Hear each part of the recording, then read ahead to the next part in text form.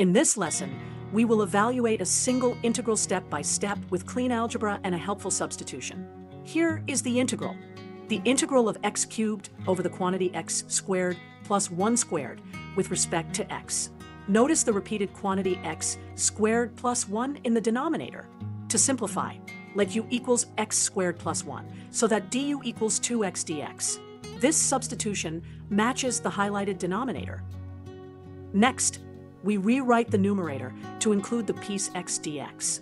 x cubed dx equals x squared times x dx.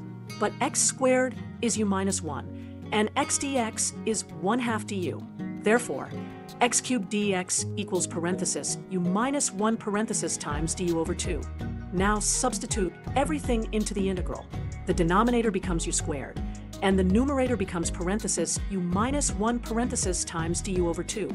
So the integral equals 1 half times the integral of quantity u over u squared minus 1 over u squared du.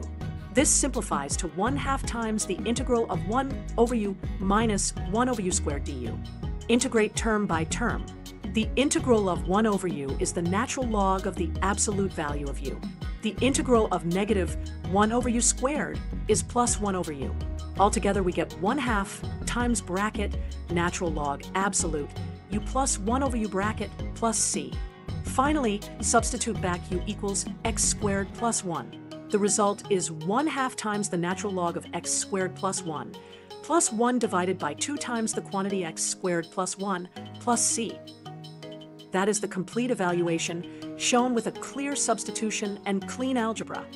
Thank you for watching. Tap like, share, and comment then follow and subscribe for more quick problem solving tips.